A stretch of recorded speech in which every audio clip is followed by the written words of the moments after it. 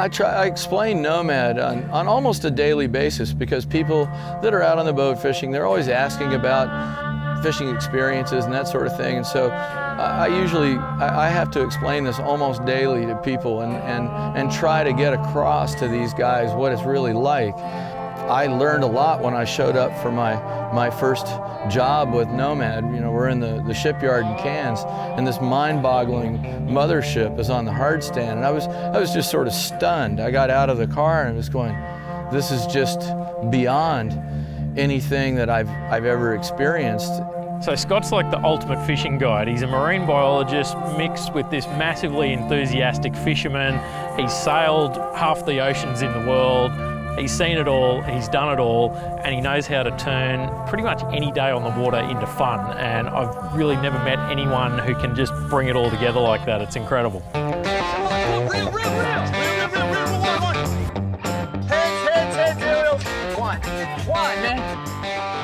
Watch out, you guys.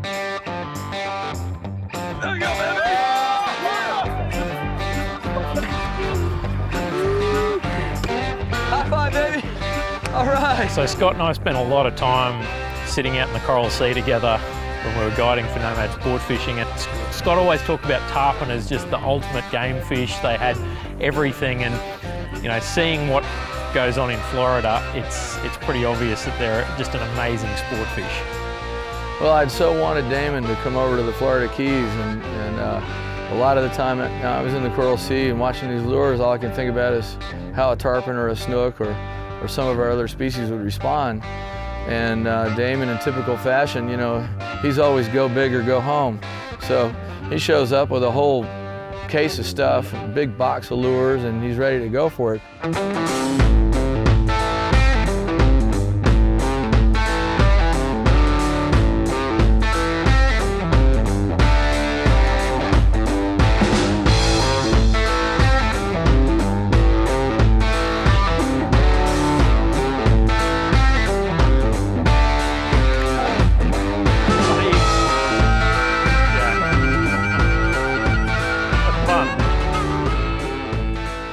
What the uh, the size of them is when they hit it like that on the surface. It's just fun. Oh. Yep. Got him. Nice. That's not a bad one. Beautiful. Beautiful little fish. They're a very, very pretty fish, little sea trout.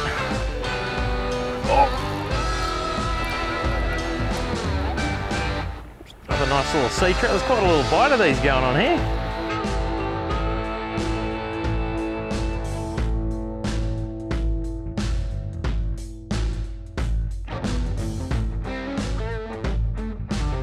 So the first couple of days fishing, we went to all of Scott's honey holes, we went and fished the flats, we went out to the East Cape, all of the places that Scott knew the fish were going to hang, we went and tried these locations, but it was still pretty early in the season and it obviously just wasn't happening. We weren't getting to see the fish, we weren't getting the lures in front of the fish.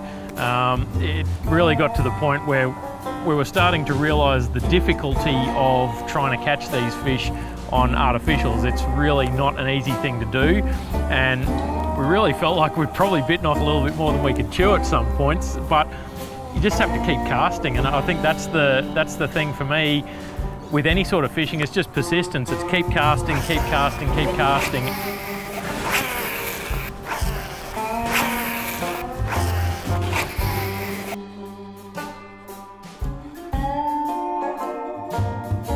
Oh! Got him! Oh no! Pulled the hook. So it's obviously a lot easier to catch tarpon on live bait, but Scott was convinced that we could catch big tarpon on riptides, Madscads, and a couple of the other lures in the range. So we got a report late one afternoon from one of Scott's buddies that uh, there was some really big fish getting around some of the bridges, but it was quite a long way down south of where we were. Uh, amazing numbers of fish that we see at the bridges. That's the food pipeline. It's the most efficient thing. The water is accelerating through the gap and they can cruise in the gap and the food is just arriving, you know, on the current. It's a really big tarpon that we're actually seeing just cruising under the boat here.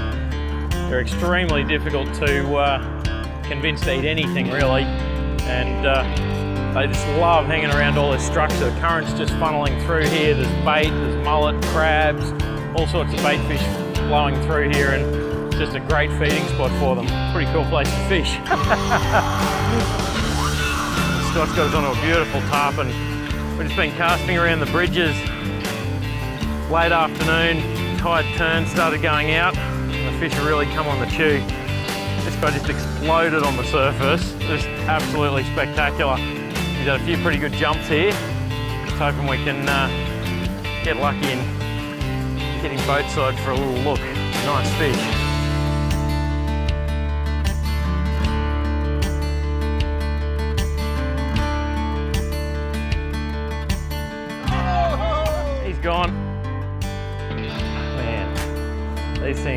So tough. Had this thing on for best part of 50 minutes and uh, he's just thrown the hook. So Scott tells me it happens quite frequently.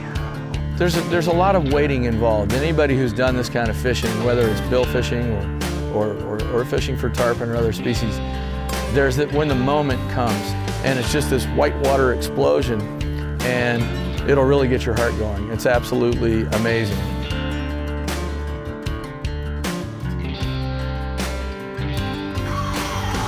Got a really nice tarpon hooked up here. Just fishing along the edge of that bridge and it just all happened. Just absolutely demolished it on top and he's just charged off away from the bridge here. Scott's saying it's a pretty big fish, so this is, uh, this is what it's all about.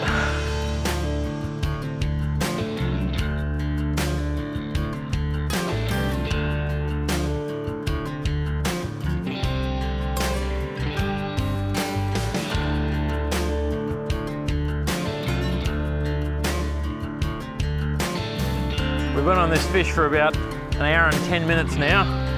The sun's faded. It's uh, getting into the evening. Scott's telling me this guy's a greenback.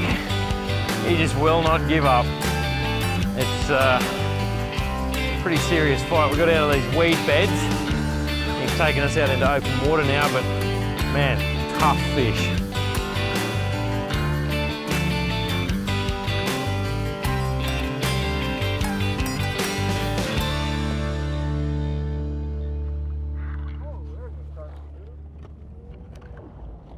He's gone. Two hours into it, the old uh, fluorocarbon leader wore through. So yeah, the tarpon wins again. That is uh, a very, very challenging fish. But uh, anyway, there's plenty more back at that bridge. So.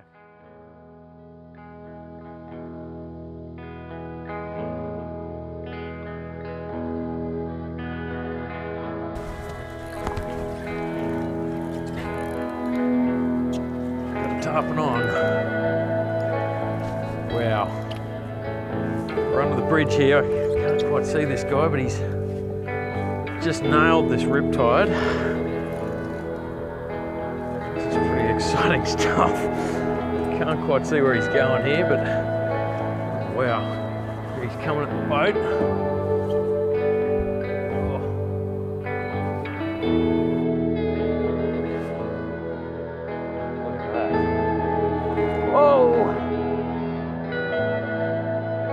Beautiful little tarpon. Just nailed the riptide on the surface there. Tried a little night fishing under the bridge and uh, these tarpon are snapping pretty hard. It's so much fun, these things just nailing lures on the surface.